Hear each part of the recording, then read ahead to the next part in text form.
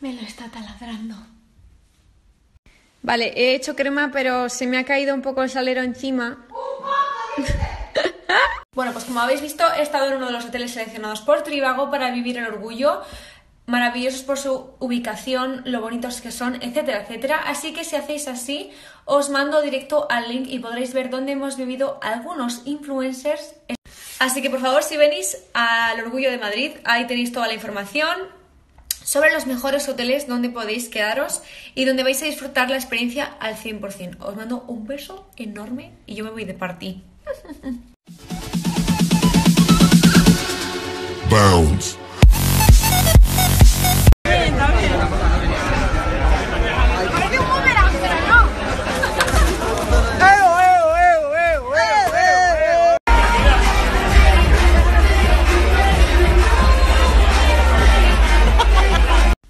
Bueno, Melo, hay novedades, ¿no? Sí, eso.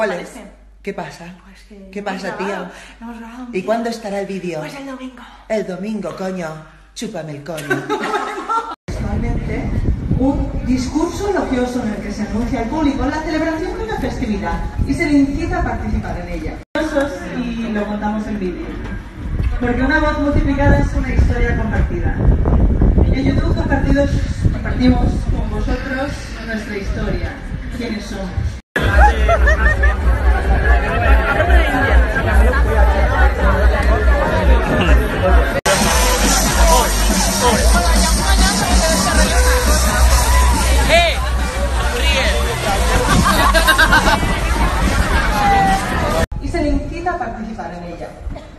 También dice que es la publicación que en voz alta se hace en los sitios públicos de algo que conviene que todos sepan.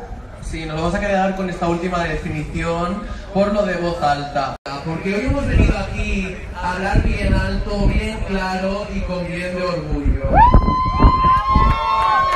Pues aquí, al ritmo de Mónica Naranjo, está la Prep Party con un montón de gentuza, como Joyi.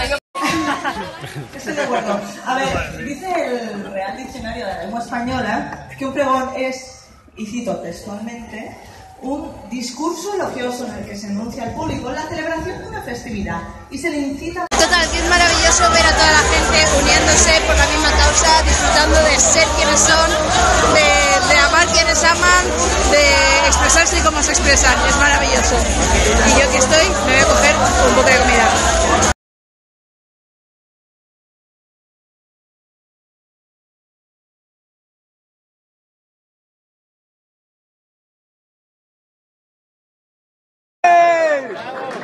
A veces es difícil hablar de qué cosas, eh, a los haters, a la gente que siempre tiene una negativa de primeras, pero merece la pena. Actividad, Y se le incita a participar en ella. También dice que es la publicación que en voz alta se hace en los sitios públicos de algo que conviene que todos sepan. Sí, nos vamos a quedar. No importa mucho lo que digan de mí.